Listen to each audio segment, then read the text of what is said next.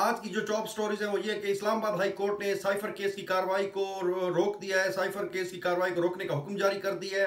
Election commission of Pakistan Peshawar high court के फैसले पर अभी तक तजब्जुब का शिकार है। Election commission of Pakistan Peshawar high court के फैसले पर अमल करने से गुरेजा है और शाह महमूद कुरैशी को गिरफ्तारी के बाद जुडिशियल कॉम्प्लेक्स की अदालत में पेश किया गया और शाह महमूद कुरैशी का चौदह रोजा जुडिशियल रिमांड जो है वो दे दिया गया है।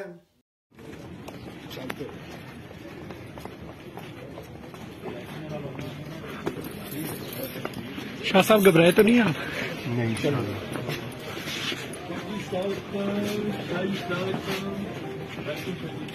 कल हमने जो मंजर देखे उस पे पूरा पाकिस्तान शर्मसार था। मगर आज जो मैं आपको बताने जा रही हूँ उस पे पूरा पाकिस्तान शर्मसार सिर्फ़ नहीं होएगा वो आग बगोला भी होएगा और वो आँसू भी रोएगा।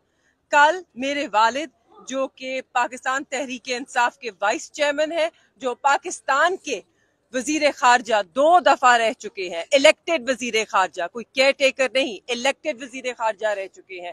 उन्हें कल रात जब थाने लेके गए वहाँ पर जो एस एच ओ है जमाल उन्होंने बदतमीजी की ठुड्डे मारे मुक्के मारे टॉर्चर किया। फिजिकली टॉर्चर किया मेंटली टॉर्चर किया। सारी रात सोने नहीं दिया एक ठंडे कमरे में ज़मीन पे फेंक दिया पानी तक नहीं था, ना पीने का, ना वज़ू का, ना बाथरूम का। वहाँ पे कोई फ्लश नहीं था, कुछ नहीं था। और रात को, क्योंकि वो थक गए उनकी जब भी आँख लगती तो इन्होंने बत्तियाँ जलानी शुरू कर दी। बाहर कह कह लगाते रहे, इन्होंने बाहर शोर मचाया कि किसी तरह भी इन्हें एक मिनट नींद का ना मिले। अब मैं आपसे पूछती हूँ कि ये बात करते हैं कि हमारा मज़ाक उड़ रहा है ऑप्टिक्स की बात करते हैं दुनिया में। जब यहाँ पे कोई औरत जब यहाँ पे कोई एसिड अटैक होता है, जब रेप का कोई केस होता है तो ये कहते हैं बाहर हमारी जी जग रसाई हो रही है। जब मलाला कोई बात करती है तो आज मैं बिलावल भुट्टो ने शाह महमूद कुरैशी की गिरफ्तारी की मजम्मत कर दी है। मौलाना फजल रहमान ने इमरान खान और पाकिस्तान तरीके इंसाफ के खिलाफ कार्रवाइयों को एक पाकिस्तान तरीके इंसाफ की पॉपुलैरिटी बढ़ाने के लिए प्रोजेक्ट करार दे दिया है। आज शहबाज शरीफ ने पेशावर हाई कोर्ट के जज पर तनकीद की और कहा, पेशावर हाई कोर्ट के जज जस्टिस कामरान हयात मियाँ खेल, जिन्होंने ये फैसला दिया, शहबाज शरीफ ने उनके बारे में कहा कि उनके पाकिस्तान तरीके इंसाफ के रहनुमाओं के साथ ताल्लुक हैं। बिस्मिल्लाम आप देख रहे हैं आपका अपना यूट्यूब चैनल और मैं उस्ताम खान।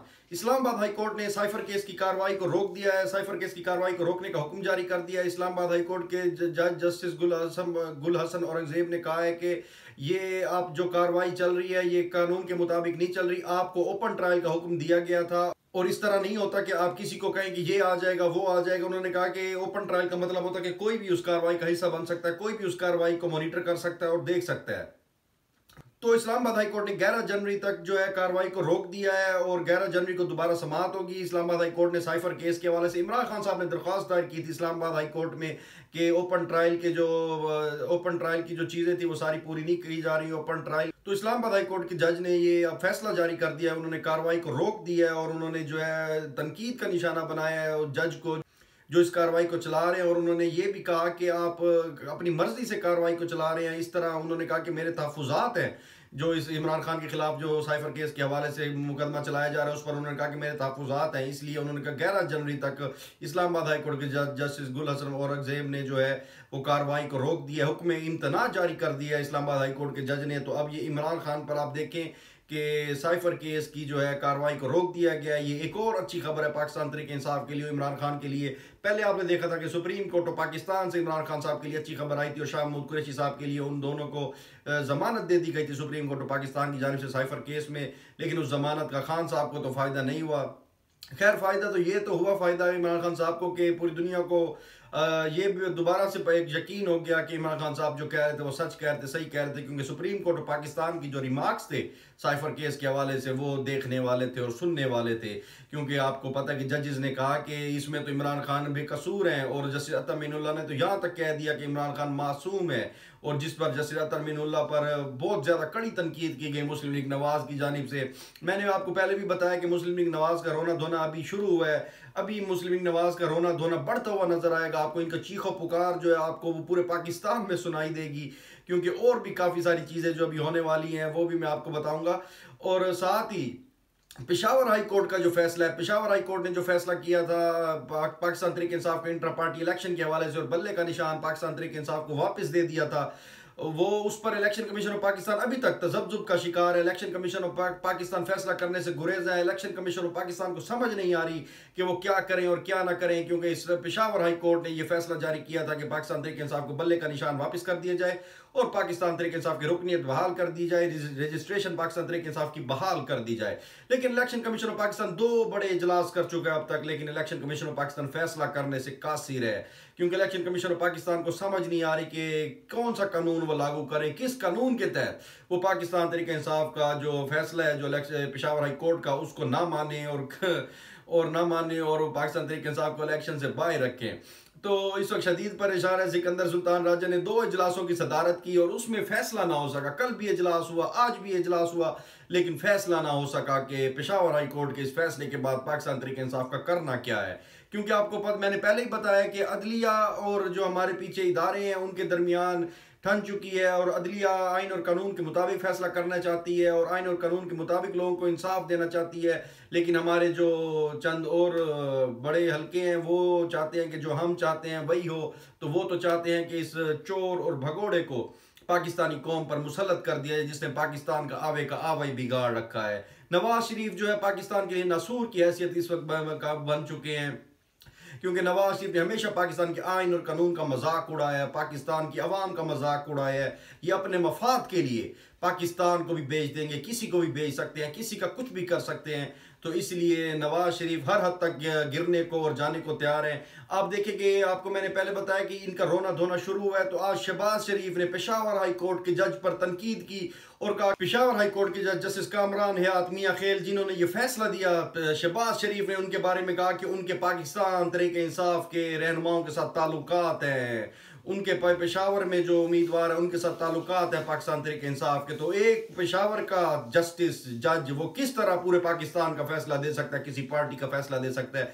तो इस पागल शहबाज शरीफ को कोई बताए, इस, बूट पॉलिसी को कोई बताए कि पेशावर हाई कोर्ट हो, इस्लामाबाद हाई कोर्ट हो, या चाहे लाहौर की हाई कोर्ट हो, कोई भी हाई कोर्ट हो, सिंध हाई कोर्ट हो, पंजाब हाई कोर्ट, कोई भी हाई कोर्ट हो, वो सिंध हाई कोर्ट हो, या लाहौर हाई कोर्ट हो, या पेशावर हाई कोर्ट हो वो फैसला दे सकती है, या बलूचिस्तान हाई कोर्ट वो पाकिस्तान भर में किसी भी जगह के लिए फैसला दे सकती है, लेकिन उस फैसले को चैलेंज किया जा सकता है, और वो चैलेंज फैसला पहले आप हाई कोर्ट में करते हैं, और उसके बाद उसे अगर हाई कोर्ट से आपको फ़ायदा ना पहुँचे तो आप फिर सुप्रीम कोर्ट ऑफ़ पाकिस्तान में उस फैसले के खिलाफ अपील दायर करते हैं। लेकिन इनको क्या पता, इन्होंने तो ना कभी कानून देखा, ना कानून पढ़ा, ना इनका कोई कानून से लेना देना, इन्होंने तो बैठकर ऊपर से एक ऑर्डर जारी करना होता है। कि ये कर दें, वो कर दें और इन नीचे वकील रखे होते हैं तो इन्हें पाकिस्तान की ना मीशत का कुछ पता है, ना पाकिस्तान के हालात का कुछ पता है, ना पाकिस्तान के ग्राउंड लेवल पर क्या पोजीशन है, उसका कोई पता है, ना इन्हें कानून का कोई पता है ना इन्हें आइन का कोई पता है ये सिर्फ़ पाकिस्तान में लूट मार करने का इनको पता है। इनको ये पता है कि पाकिस्तान को लूटना कैसे है, लोगों की ज़िंदगी अजीरन कैसे करनी है, सिर्फ़ ये पता है शबाज शरीफ और इस मुस्लिम लीग नवाज़ को, ये पाकिस्तान के लिए जो है पाकिस्तान के लिए दर्द सर बन चुके हैं, पाकिस्तानी कौम के लिए दर्द सर बन चुके हैं, और ये अब दोबारा डीले कर कर, ढीले खाकर ये पाकिस्तानी कौम पर दोबारा मुसलत होना चाहते हैं। ये तो ये हमेशा से मुस्लिम लीग नून का यही वतीरा रहा है और यही तरीका रहा है कि वो इस तरह पाक फौज से और कि वो इस तरह स्टैब्लिशमेंट से वो ताल्लुकात बनाकर लोगों को अपने साथ मिलाकर और डीलें कर कर और मुनाफाखोरी के चक्कर में ये किसी को भी साथ मिला लेते हैं और कोई भी इनके साथ मिल जाता है और ये फिर पाकिस्तान को लूट घसूट करते हैं और पाकिस्तानी अवाम का जीना दो भर कर देते हैं। क्योंकि जब ये लूट घसूट करते हैं तो पूरी पाकिस्तानी कौम का पैसा खाते हैं, पूरी पाकिस्तानी कौम को नुकसान पहुँचता है, पाकिस्तान के कौमी ख़जाने का नुकसान पहुँचता है। तो इनका पाकिस्तान से कोई लेना देना नहीं है। और अब आप ये सिचुएशन देखें कि किस तरह बदल रही है। मैंने आपको बताया था कि पाकिस्तान तरीके इंसाफ के लिए ठंडी हवाओं का सिलसिला शुरू हो चुका है और ठंडी हवाएँ एक तरफ़ से ठंडी हवाएँ चलेंगी अदलिया के अदलिया की तरफ़ से पाकिस्तान तरीके इंसाफ के लिए और दूसरी तरफ़ से पाकिस्तान तरीके इंसाफ को डराने, धमकाने की कोशिश भी जारी रहेगी। तो ये टकराव हो रहा है। अब देखेंगे आपके आहिस्ता आहिस्ता सिचुएशन किस तरफ़ जाती है। आप देखें कि अदलिया तो ये फैसला कर चुकी है कि उन्होंने आइन और कानून का साथ देना है, लेकिन ये जो माफिया बैठा है, और आप एक चीज़ आपने नोटिस की होगी कि जब भी पाकिस्तान तरीके इंसाफ के हक में कोई फैसला आता है या कोई भी पाकिस्तान तरीके इंसाफ के हक में कोई भी चीज़ होती है तो दूसरी तरफ़ से कार्रवाई शुरू हो जाती है, कोई ना कोई चीज़ शुरू हो जाती है। आप देखें कि इधर से पाकिस्तान तरीके इंसाफ के हक में एक फैसला आया, और उधर से शाह महमूद कुरेशी को जो है वो गिरफ़्तार कर लिया गया, और बदतमीजी कर कर गिरफ़्तार कर दिया गया।